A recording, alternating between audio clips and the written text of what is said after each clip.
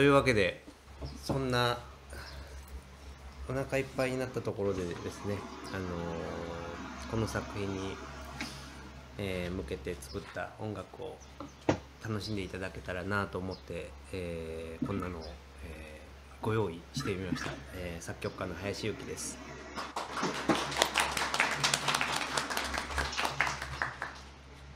まあこの作品はまあもちろんファンの皆様に改めて言うのもなんですけれどもなんかこう独特の世界観と独特の雰囲気があるアニメだなと思っていてい大丈夫ですかね？僕のこの通らない声はちゃんと届いてるんですかね？いつもなちょっと大きめに話そうと思うんですけど忘れちゃうんですよ。ねごめんなさい。独特の雰囲気がある作品だなと思っていてであとまあ前に一度アニメ化されてるっていうのもあってその音楽をどういう風に献立を作ろうかなって考えた時にまあ、うん、僕でしかできないようなアレンジだったりとかそのまあちょっとボイスボーカルというか魂の声みたいなものを楽曲に忍ばせられたらいいなと思ってこうあの全体の音楽を作ったりしたんですけれども、まあこの1曲目に聴いていただいたのはあの、うんそうだな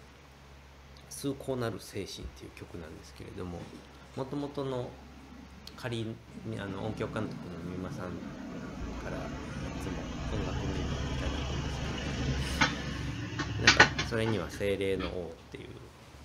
うんタイトルがついててなんかこうシャーマンキングの、えー、と全体の世界観を表すような曲になったらいいなと思って作ったので、えーこれを最初に聴いていただきました。でですねまあとはいえその盛り上がるメインテーマも必要なわけであの毎回それを最初に作ってって言われるんですけれどもでその、えーメインテーマたる曲をどんな感じにしようかなと思ってワクワクしながら作ったのが、えーこれからやろうと思っている、えーメインテーマの「シャーマンキング」という曲なので、えーっと縦乗りで聴いていただいて楽しんでいけたらなあ楽しんでいただけたらなと思っております。うん。あと今日はねまあいいややろう。よしやろう。じゃあ、えっとメインテーマの「シャーマンキング」を聴いてください「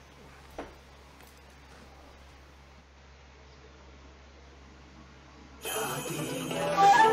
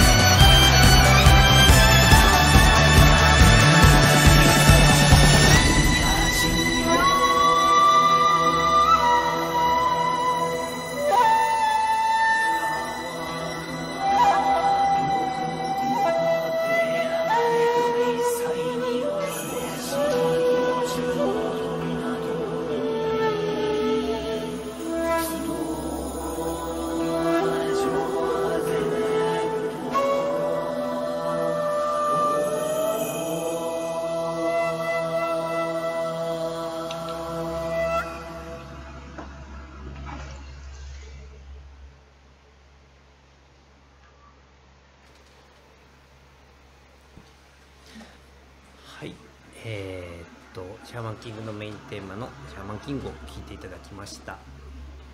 ではですね、えー今回のこの、えーライブをですね一緒にやっていただく素晴らしい、えーミュージシャンの皆様を紹介したいと思います。まずは、えーギター二つエンタロース。ドラムス山本明則。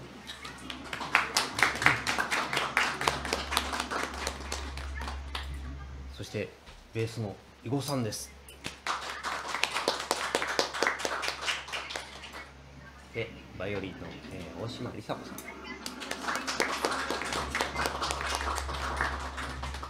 でですねえーっとまあ今回そのいつもこうこういう作品の時にねいつも助けていただいているあのすごいカラーが出るシャープカチを、えー、吹いてくれてる。もう長いですよね結構ね、石垣秀樹君あ石垣聖山先生です。よろしくお願いします。先生秀樹君って言っちゃうからなんか本名が秀樹そうそうですよね。ごめんなさいね。あそうすみません。あの 先生すみません。なんか申し訳ないです。いやでもねあの僕がそうだな。なんかこうやってもらう時にいつもこう作品の世界観とかを話すんですけれどもみゆちゃんの皆様に彼はすごいその世界観を、えー、とよく理解してというか事前に本読んでくれた作品あー知ってくれたりするからなんかこう親和性の高い、ね、演奏をいつもしてくださっていろいろやらせていただいております。こちらいやもありがとうございます。せていただいてありがとうございます。えーっとなわけでですね、えーっとまあ今回はまあアニメの劇版によく言えることなんですけどいろんなこう和洋折衷というかいろんこのこのジャンルにこの楽器は入らないだろうみたいなのをこう取っ払って作れるから僕はすごい好きでまあシャーマンキングもまさにそれでこう四つ打ちに尺八を入れてお経も入れてしまおうみたいな普通だったらありえないようなこととかがオーケストラの音と一緒にできたりとかするのでなんかあのー独特な面白いものができるのかなと思ってなんか他の曲でもいろんな実験をして作ってます、まあ、そんな話を間々にできたらいいかなと思ってます。えー、3曲目はですねえーっとまあなんかえー主人公たちがこう成長するためにこう特訓をしたりとか修行したりするシーンで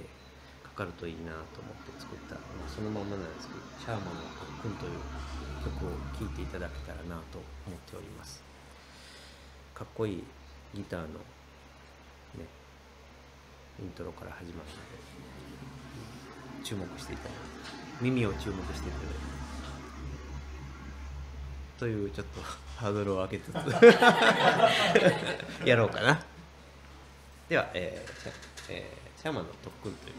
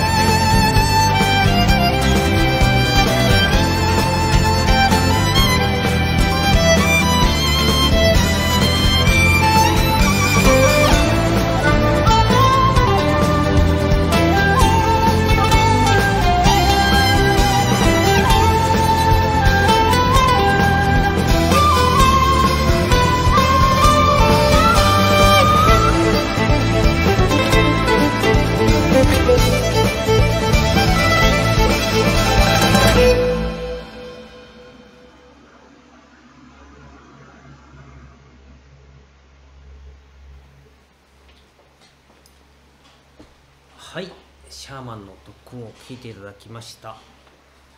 囲碁さんのお母さんはシャーマンキングはお好きですか？水撃できますお母さん。えー、あのですねあの僕ご公園に姉がいるんですけどあ。あの姉がシャーマンキングドハマり世代でそれに影響されたあの僕らの母があのシャーマンキング大ファンなんですよやったついに来ましたよじゃああのいいつもの通り LINE しましたあいつも通り全話見てるそうです母ああありがとうございますさすがもうお母さん今ねツイッターにハッシュタグで「ひぼさんのお母さん」これは僕僕らねこれを活性化させようと思ってるんでハッシュタグでハッシュタグではい「ひぼさんのお母さん」っていうあのハッシュタグ見てるそうですちょっといや私編集しーいいましたな届いてるかな今回ねそんなにちょっとこうハートフルな曲が少ないんですけど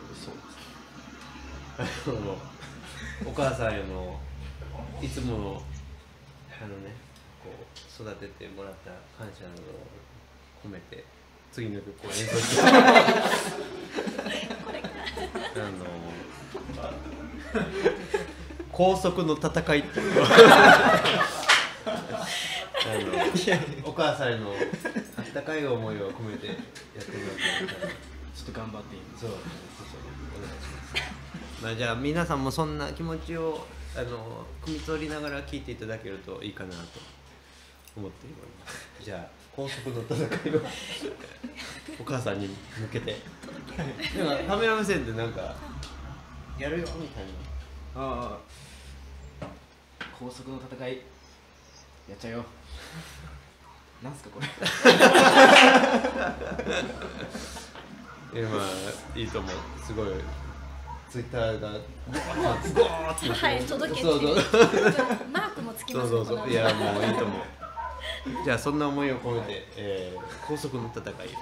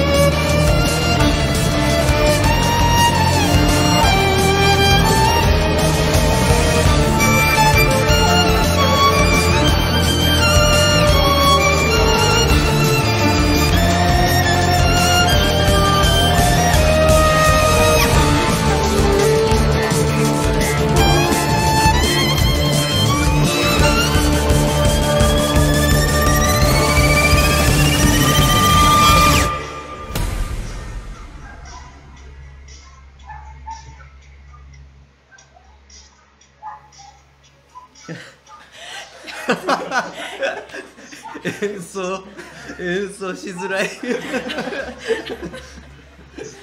なん多分こっから見た人なんでこの人らニヤニヤして弾いて こんなバトルの曲を弾いてるんだろうって思いながらね。まあこれがあの劇版サウンドトラックの面白いところでもありましてここに合うであろうと思った作った曲が別のシーンでかかると全然違う風に聞こえたりするんですねっていうのを皆さんにも体験していただこうかなという 壮大な実験をやってみたわけでありますみたいな言い訳をしようか？なお母さん喜んでます。かちょっと引いてるんじゃない あの毎回やろうかなと思ってます。すいません。いやーまああのまあ聞いてもらってる通りですね、まあ、まあ少年漫画で僕がやらせていただいてるのは結構まあ、うん、やっぱバトルが多いというかその試合、ね、スポーツものだったら試合で白熱してるところとか楽曲が多いので、うん、ちょっと、まあ、ゆっくりな曲だったりコミカルな曲だったりこう心情の曲とかもよく作るんですけど、やっぱみんなに聴いてもらっていいねって言われるのはこうなんかこうガチャガチャわちゃわちゃした曲が多いので今回はそれを多めにセレクトさせていただいております。で次に聴いてもらおうと思ってるのは「スピリット・オブ・ソーズ」という、えーよくわかってるというか、まあ、まあ要は主人公がかっこよくあの戦うようなシーンをどれだけよりかっこよく強そうに、えー疾走感あふれる感じに作れるかっていうのを毎回悩みながら作っているので、うん、これもそのメインテーマのこうパワーアップバージョンというかよりこうダイナミックにパワーアップした主人公を描けるようにイメージして作ったのでそれを、えーイメージして聴いていただけたらなと思います。はい、では、えースピリット・オブ・ソードを聴いてください。「はい、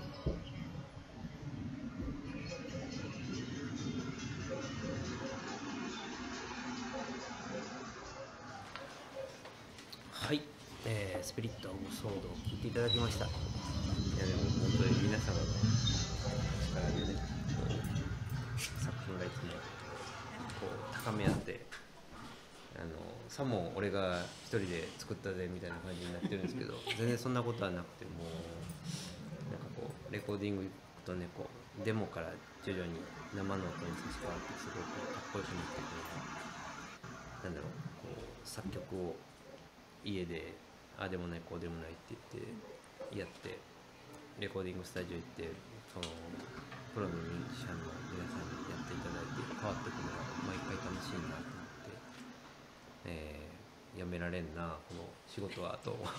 いつも思っております。よし。それではですね、えー次の曲に行こうかねえーっといやあれですねあのゆこさんのお母さんは中中華はお好きですか？あ中華好きです。中華麻婆豆腐とか。ああいいですね。チンジャオロースとか。あ好きああいいですね。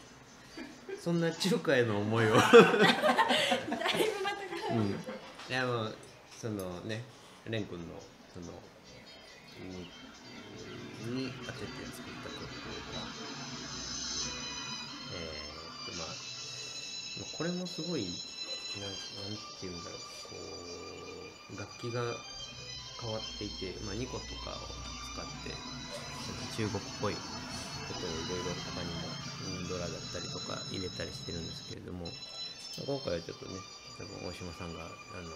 バイオリンテクであたかもニコのような音を2あのやってくれると思うので、うん、中国楽器で多分こんあの何速い感じの曲はないんだろうな怒られるんだろうなと思いながらあのレコーディングスタジオに向かった思い出深い曲でもあります、うん、そんなのばっかなんだよな、うん、まあいいややろう。えっとじゃあ中華三昧を聞いてください。はい「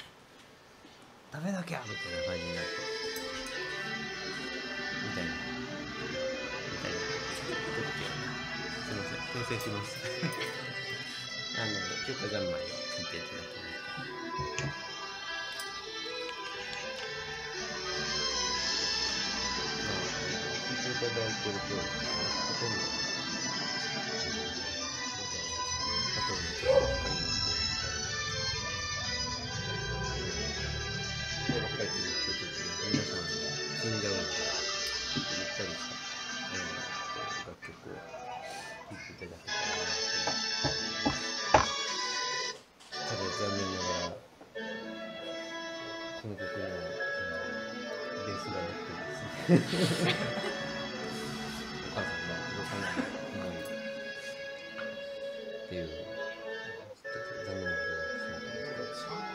僕のお母さんの話です。でもなんかその思い思ってる人への気持ちみたいな楽曲なのでまあこじつけとしていいのかな。とはい、そう sorry, my bad. とい。う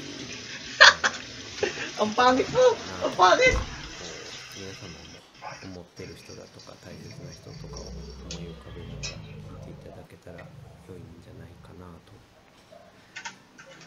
思っております。まあじゃあ。前にですねちょっと囲碁さんに休憩していただいて。お母さんがどんな思いでここを見る そうそう。姿いいはいいはけっぷりだったわって。こういう感じですよ、お母さんも。休憩してくれ「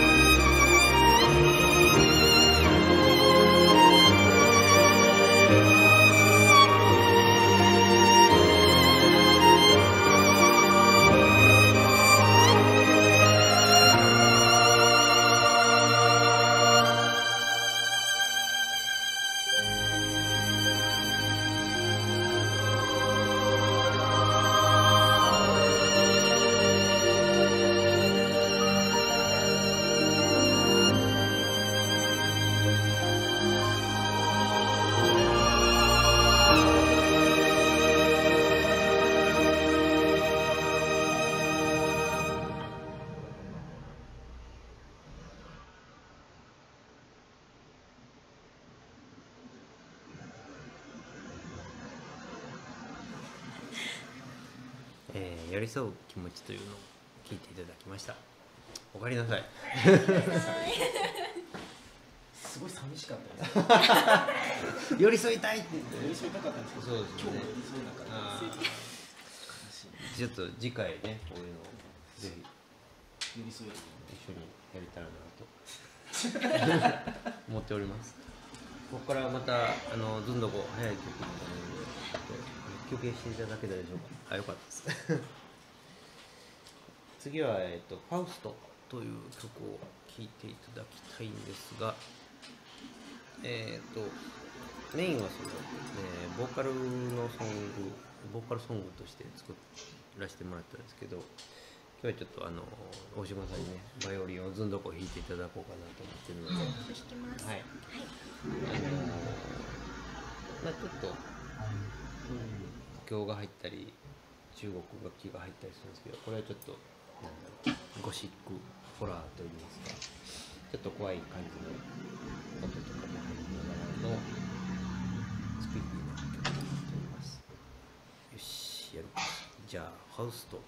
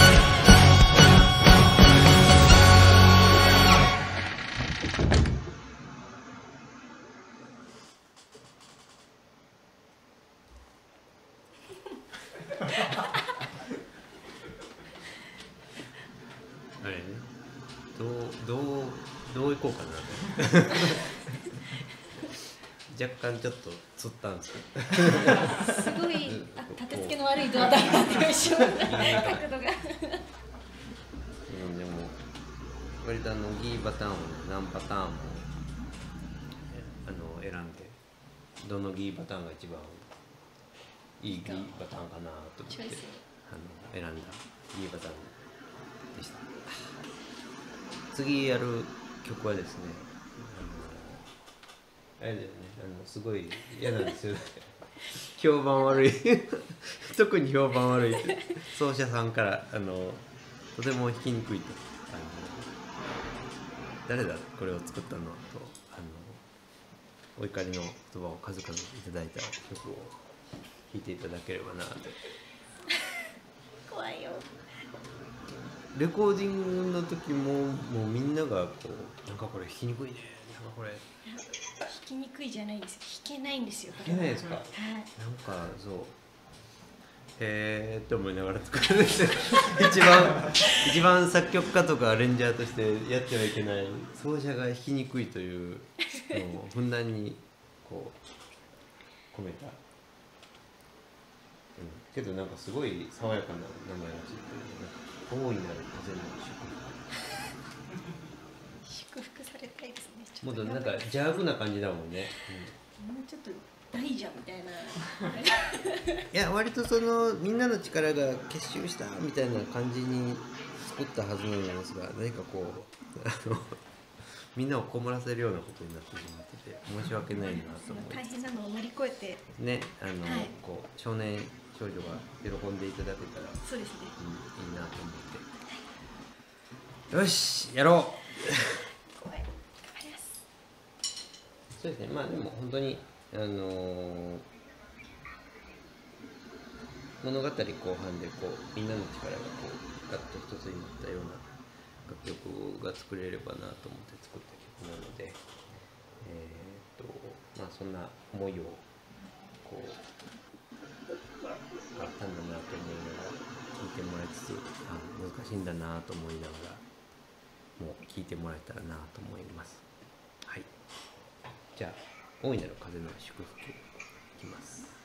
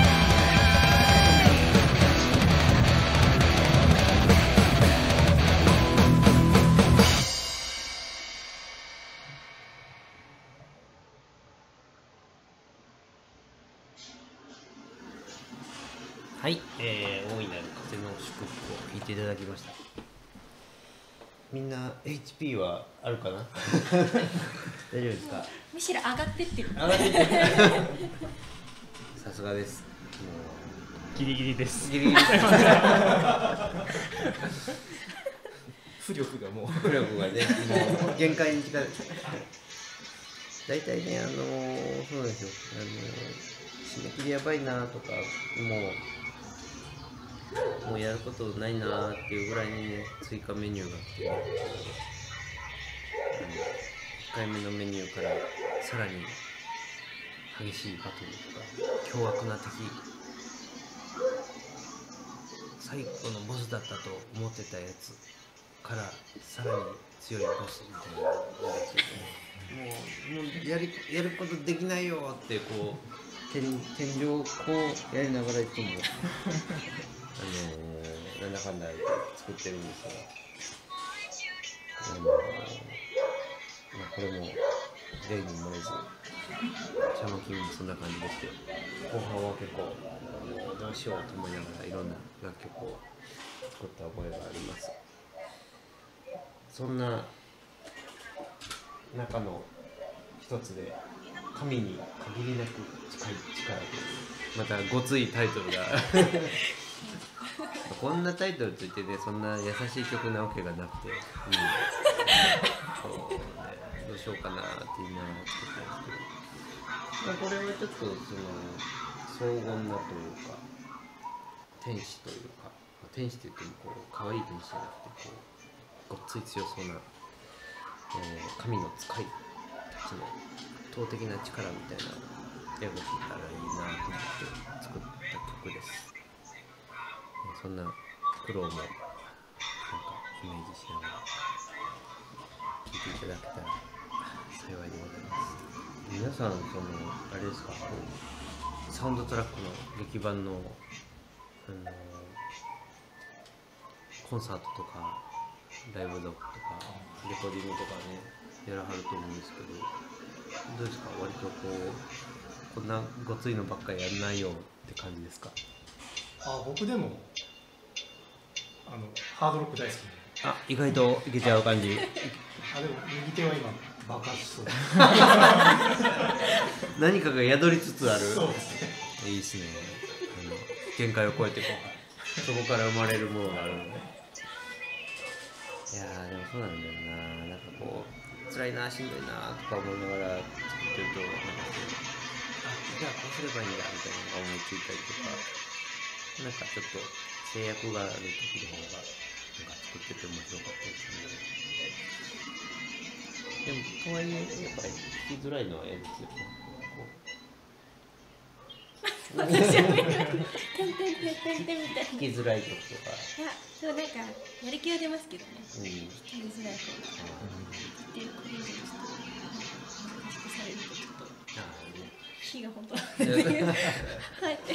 爆発しそうになるもう私もちょっと今ポカポカしてるから多分だいぶ何かが宿ってると思いつつ楽しいいやありがとうございます。割とベースラインというか低音がしっかりした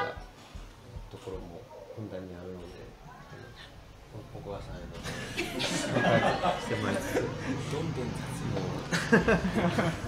させた方が早そうですけど。そうですね。お母さんも弾くの僕じゃないですっとドラムでも下を支えていただいて。頑張ります。やれたらいいなと思っております。What song is this? あえーっとごつい曲はこれが最後かなと思うので、えー、聴いてください、えー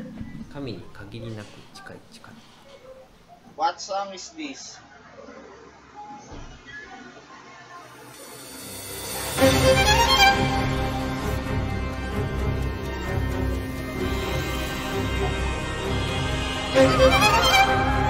はい、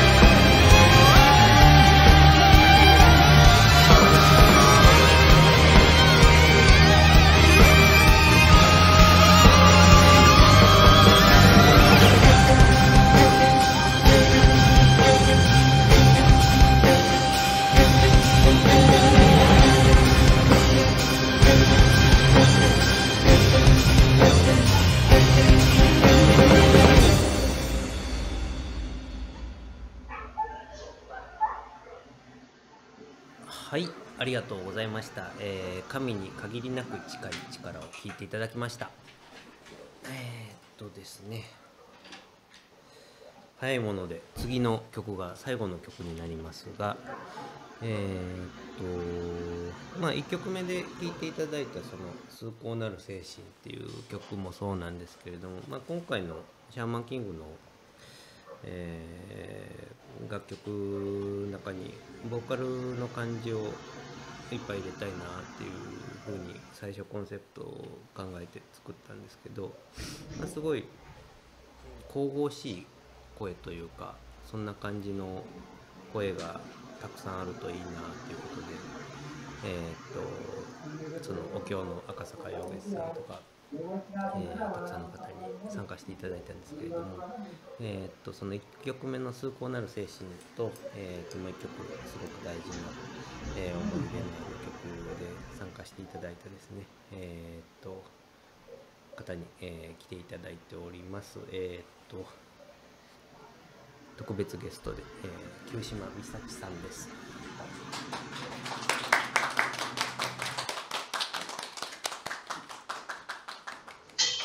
ご無沙汰しておりますご。無沙汰しております。いやーもう塩を舐めて以来ですね。違う。あ、はい。もうあの声量があるからマイクを忘れるっていうね。ね僕僕と真逆なんですよ。声量がないのとある人よく本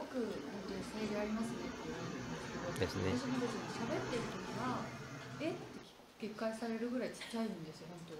当は。あ、そうなんだ。普段パワーを貯めてるんですね。じゃど。あ僕も頑張ったら あれなのかな？もしかしたらねレうん。コーディングの時はあの本当にこうあまりにもこう力がというかこう込めすぎて、うんうん本当に足がつってしまって。ああそうですよそうそれであのどうしようどうしようって言ったら